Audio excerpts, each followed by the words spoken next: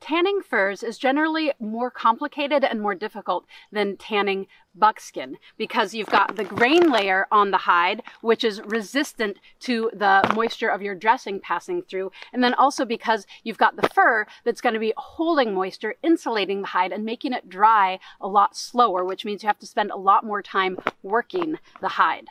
Also, Rabbit hides are one of the trickier to do because they're quite thin and not a very strong hide. So you have to work harder in order to soften them while being gentle enough that you're not going to risk tearing the hide. So I am going to demonstrate tanning of rabbit hides today, and I'm going to be demonstrating a technique that I have yet to show to my students in my courses or on my YouTube channel, and that is a technique called freeze tanning.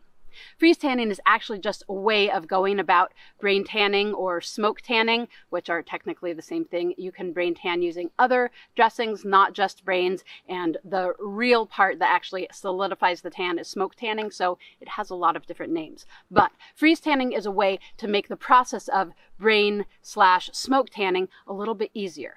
So it's a wonderful technique to know if you live in a climate that gives you temperatures below about 15 degrees Fahrenheit when you're getting into that cold that is so cold that it's a dry cold. So things freeze and then the moisture actually evaporates out of the hides, a process called sublimation, going from solid straight into gaseous form without ever getting wet in between.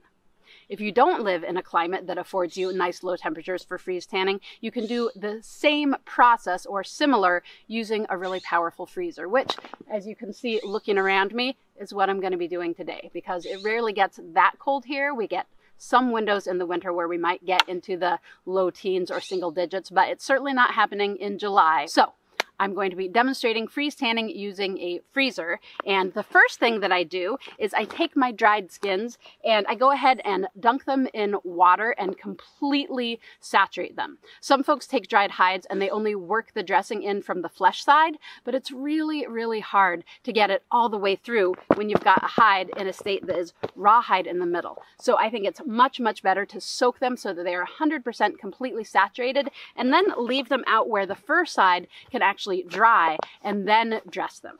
First step into the bucket and this is just water and it is warm but not hot water. That's really key. So warm water is going to relax the fibers, soak them up faster and allow them to kind of open up and absorb better.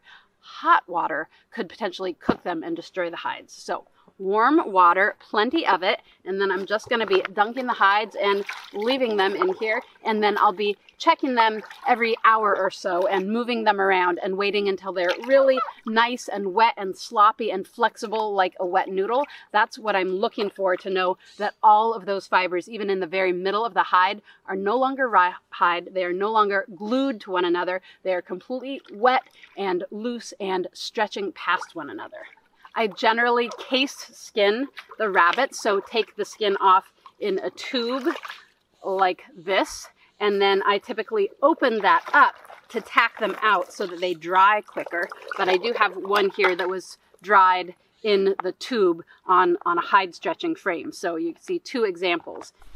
Okay, so it has been a little bit over an hour.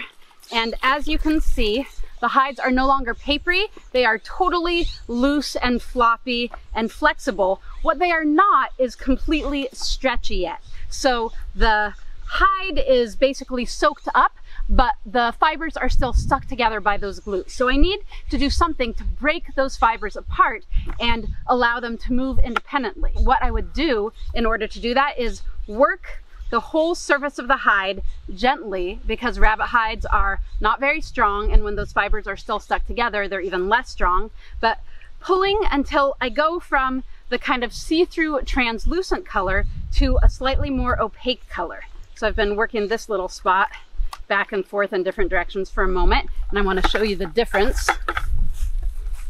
So see how right here, it's a little bit more uniformly white and opaque versus right here, it's more translucent and I can see right through to that black color of the skin.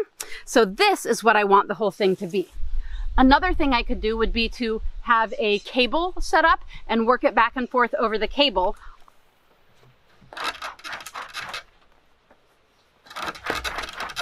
So I'm gonna squeeze these out so that they're less sloppy wet in the fur I'm gonna leave these in the sun to have that fur dry out a little bit, but skin side down so that they won't dry at all, the skin.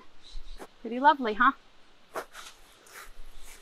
See that there? These yellow parts are the parts where the fibers are still glued together and they're more translucent. And now as I pull and stretch, you can see that that yellow bits disappear. And now it's all white and more uniform. So again, what I'm looking for to know that this is nice and opened up and ready to accept the dressing is that it feels not just loose and sloppy and flexible, but stretchy, that it gives when I pull on it. Hides are gonna absorb the dressing best if they are slightly damp, but not sloppy wet. Just like a sponge absorbs more on a wet counter if it's a wrung out sponge versus a totally dry sponge, it just pushes the moisture around. And a sloppy wet sponge, it's absorptive, but it doesn't have room to absorb any more than it's already full of. Hides are the same way. All right, so here is my dressing, my mixture of egg yolks, warm water, olive oil, and Dr. Bronner's lavender is my preference. Castile soap,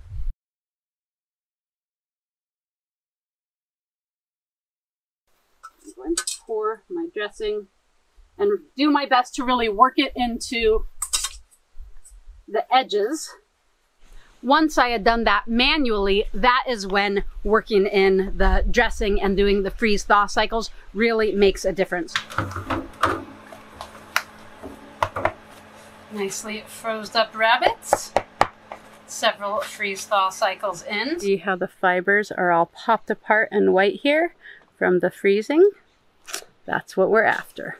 So I have had these hides take up the dressing a lot better, a lot faster than hides that I'm not doing the freeze thaw. And this one is already nicely thawed because it wasn't super wet. I'd been working it for a while. So definitely been an excellent technique, although it didn't save me the work of manually opening the hides on the cable. That I still did, and it was probably slightly easier, but I did my test piece and the pieces that had been in the freezer and really didn't notice enough of a difference to make it seem like that's something that I would want to do. So just the soaking and then the opening up and then the dressing, and that's where the freeze thaw cycle really comes in.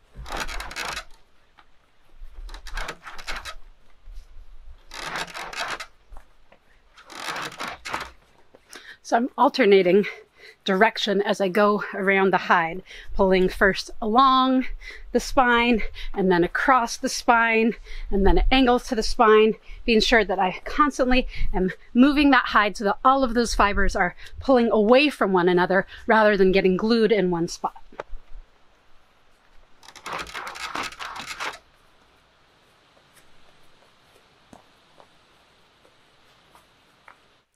Right, here are four different five different rabbits in various stages of the brain tanning slash smoke tanning process. So there is this one, which is a fully finished and softened, and you can see it is luscious and bouncy, stretchy. This one, which is the opposite, still frozen solid right out of the freezer after one round of the dressing being worked in and then frozen into it. This one here, you can see still has some moisture in it and some drier areas by those different colors. You can see this one is very nicely dressed, really soft and stretchy and bouncy, but it still has a lot of drying to do.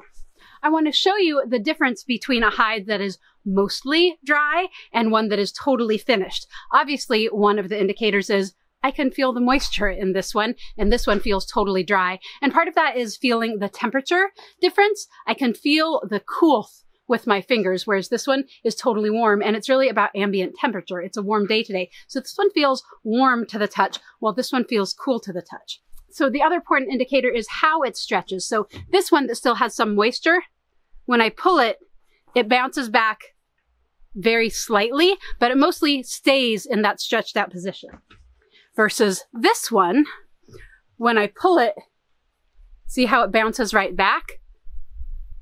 bounces back, that is a sign that there's no more moisture in here and it's returning to its natural shape as soon as I let go of it.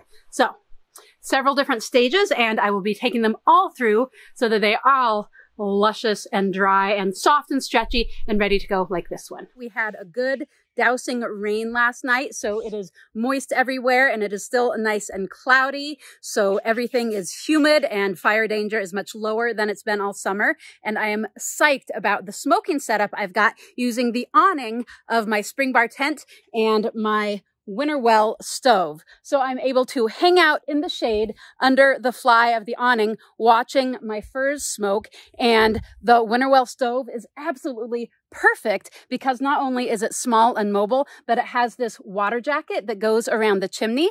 And what you want for smoking hides is for a smoke that is cool enough not to damage the hides and that keeps the hides well away from the smoldering coals. So the chimney makes distance between it and the coals. And then the water jacket on the stove absorbs a lot of the heat as it goes up the chimney. So I have nice cool smoke and my hides are turning out like a dream and I don't have to worry about any sparks or flames because it's a whole sealed system. So working awesome for smoking my furs and these are going to turn out beautifully.